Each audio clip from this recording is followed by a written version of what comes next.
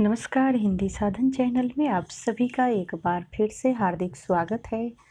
आज के इस वीडियो में छायावादी युग के अन्य काव्य धाराएँ हम पढ़ने वाले हैं।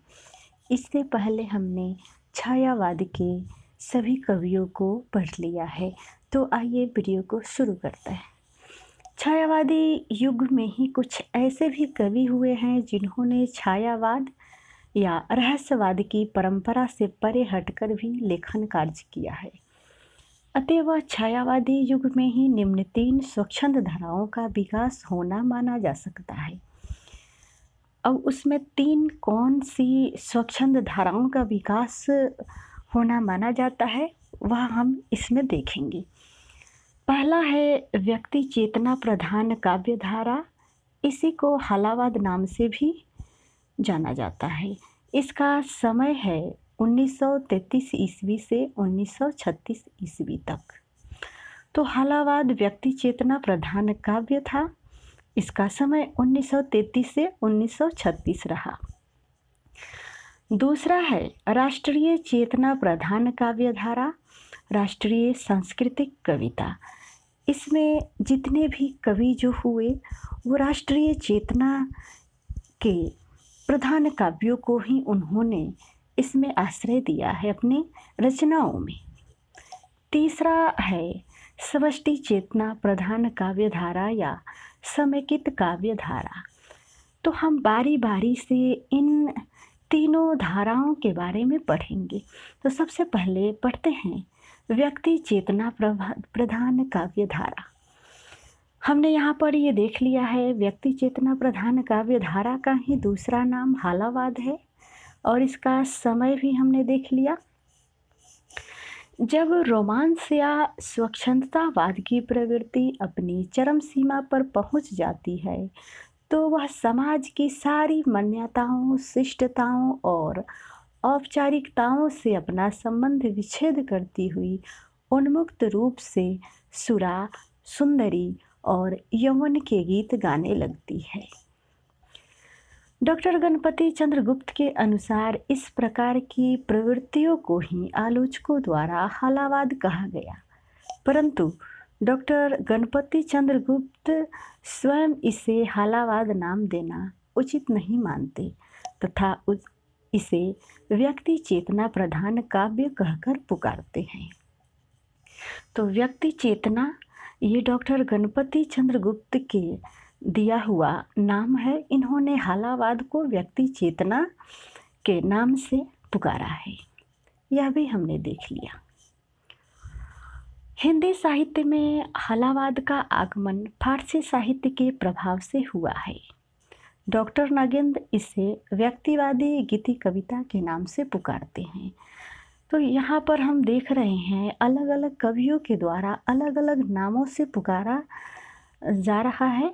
इसे भी हमें देखते हुए और नोट करते हुए आगे बढ़ना है, क्योंकि परीक्षाओं में इससे ही प्रश्न पूछे जाते हैं कि व्यक्तिवादी गीति कविता को किस लेखक ने, किस कवि ने हलावाद को व्यक्तिवादी गीति कविता कहा है।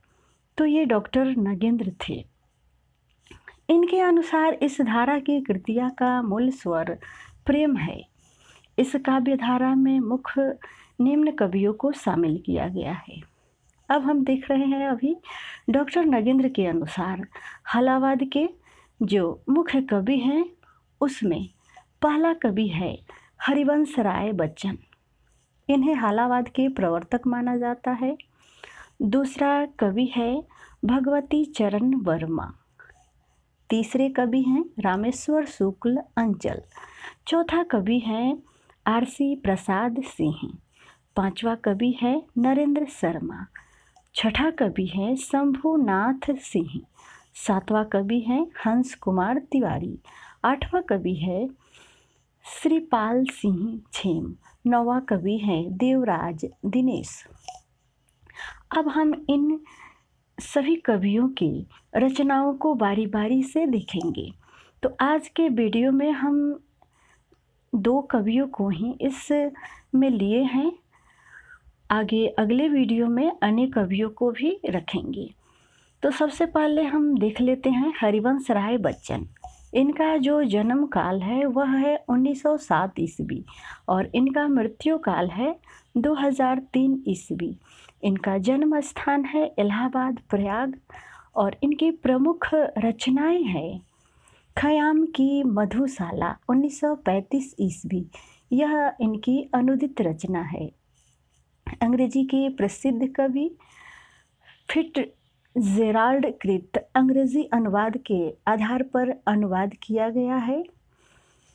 मधुशाला, इसका समय है 1935 ईस्वी। मधुबाला 1936 ईस्वी, मधुकलश 1937 ईस्वी, निशा निमंत्रण अड़तीस ईस्वी, एकांत संगीत उन्नीस ईस्वी। प्रारंभिक रचनाएँ 1943 ईस्वी, आकुल अंतर 1943 ईस्वी, सतरंगिनी 1945 ईस्वी, बंगाल का अकाल 1946 ईस्वी।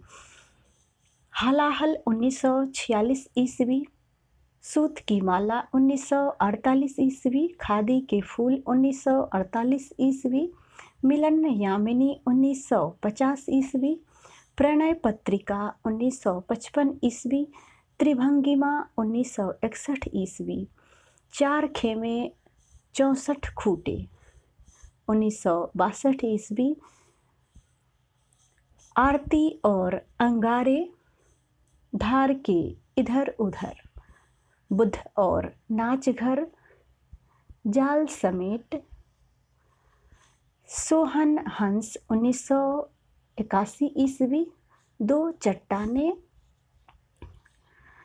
अब विशेष तथ्य हरिवंश राय बच्चन के बारे में हम देख लेते हैं। बच्चन जी की निम्न रचनाओं को छोड़कर अन्य सभी रचनाओं में यौवन सौंदर्य एवं मस्ती के स्वर की अभिव्यक्ति हुई है। बंगाल का अकाल, सूत की माला, खादी के फूल, त्रिभंगिमा, चार खेमे, चौंसठ खूटे। ये जो रचनाएँ हैं, इन रचनाओं में यौन सौंदर्य एवं मस्ती के स्वर नहीं है। नहीं तो उनकी सभी रचनाओं में यौन सौंदर्य एवं मस्ती के स्वर देखने को मिलते हैं। यह मूलतः आत्मानुभूति के कवि माने जाते हैं। इनको छई रोमांस का कवि भी कहा जाता है। इन्हें हिंदी साहित्य में इनको प्रबंध शिरोमणि की उपाधि प्राप्त हुई। इन्हें हालावाद का प्रवर्तक माना जाता है। सन 1932 ईस्वी में इन्होंने अपना प्रारंभिक साहित्यिक जीवन पायोनियर के संवाददाता के रूप में प्रारंभ किया था। उन्नीस ईस्वी में राज्यसभा सदस्य मनोनीत किए गए थे।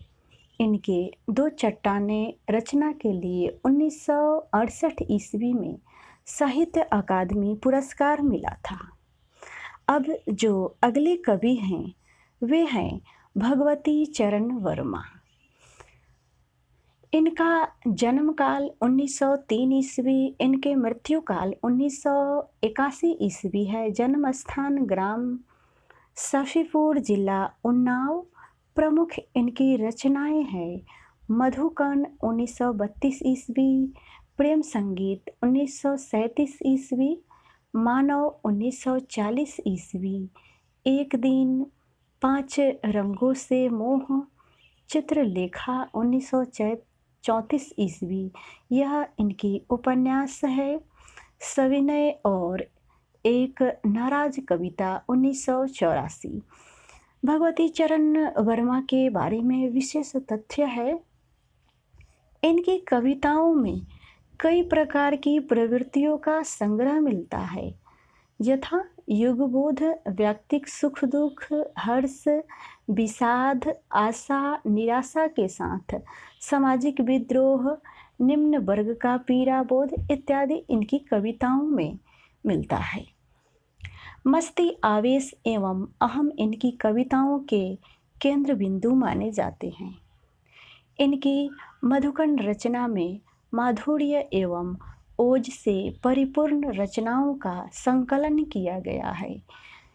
प्रेम, संगीत, रचना में सौंदर्य, प्रेम मिलन, विरह आदि की व्यंजना मुक्त रूप से हुई है। मानव एवं रंगों से मोह, रचनाओं में ये स्वच्छता से यथार्थ की ओर आते हुए दिखलाई पड़ते हैं। कुछ आलोचकों ने इन्हें नियतिवादी कवि भी कहा है। मानव संग्रह की रचनाएँ प्रगतिवाद से प्रभावित है। चली आ रही भैंसा गाड़ी जैसी प्रसिद्ध कविता इसी संग्रह में है। इनकी रचनाएँ 1971 ईस्वी में प्र, प्रताप पत्र में प्रकाशित होने लगी थी।